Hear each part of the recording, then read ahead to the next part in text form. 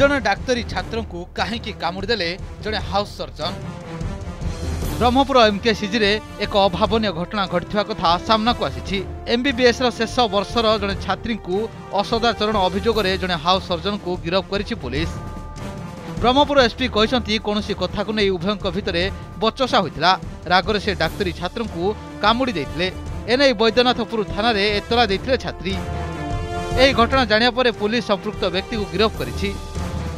MKCG medical କଲେଜରେ ଗୋଟେ ଜିଓ ଫାଇନାଲ୍ ଇୟର୍ ଯେଉଁ ଏମ୍ ବି ବି ଏସ୍ ପାଠ ପଢ଼ୁଛନ୍ତି ବାଇଶ ବର୍ଷର ସେ ଗୋଟେ ରିପୋର୍ଟ ଦେଇଛନ୍ତି ତାଙ୍କର ହାଉସ୍ ସର୍ଜନ୍ ଯେଉଁଟା ତେଇଶ ବର୍ଷର Supan Kumar Padhi doctor house surgeon ଅଛି ତାଙ୍କ ନାଁରେ ରିପୋର୍ଟ ଦେଇଛନ୍ତି ସେ ତାକୁ ଫିଜିକାଲି ଆସଲ୍ଟ କରିଦେଲା ଆଉ କାମୁଡ଼ିଦେଲା ହାତରେ ଆଉ ଚିକ୍ରେ କାମୁଡ଼ିଦେଲା ବୋଲି ସେ ରିପୋର୍ଟ ହେଇଛି ତାଙ୍କର ମେଡ଼ିକାଲ ମଧ୍ୟ ହେଇସାରିଛି ବର୍ତ୍ତମାନ ସେ ଯେଉଁ ଡକ୍ଟର ସୁପନ କୁମାର ପାଢ଼ୀ ଡିଟେନ୍ ଅଛି ସେ ଏବେ ଆରେଷ୍ଟ କରିକି ସେ ଫରୱାର୍ଡ଼ ହେବ ଏଇଟା ବାଇଶ ତାରିଖ ଏର୍ଲି ମର୍ଣ୍ଣିଂ ଘଟଣା ଘଟିଲା ଭଳି ଜଣାପଡ଼ୁଛି ତାପରେ ବାଇଶ ତାରିଖ ଆଫ୍ଟରନୁନ୍ରେ କେସ୍ ଏଫଆଇଆର୍ ରେଜିଷ୍ଟର ହେଇଥିଲା ଆଉ ଇଏ ଯେଉଁ ଘଟଣା ତାଙ୍କ ଭିତରେ ଫାଇନାଲ୍ ଇୟର୍ ଷ୍ଟୁଡେଣ୍ଟ ଆଉ ହାଉସ୍ ସର୍ଜନ୍ ଆଗରୁ ମଧ୍ୟ ତାଙ୍କର ଚିହ୍ନା ପରିଚୟ ଥିଲା ଭଳିଆ ଜଣାପଡ଼ୁଛି ତାଙ୍କ ଭିତରେ କିଛି ମିସ୍ଅଣ୍ଡରଷ୍ଟାଣ୍ଡିଙ୍ଗକୁ ନେଇକି ଏଇଟା ହେଲା ଭଳିଆ ଏବେ ଜଣାପଡ଼ୁଛି। ଫର୍ଦର ଆମେ ଇନଭେଷ୍ଟିଗେସନ୍ କରିକି ଫାଇନାଲାଇଜ୍ କରିବୁ।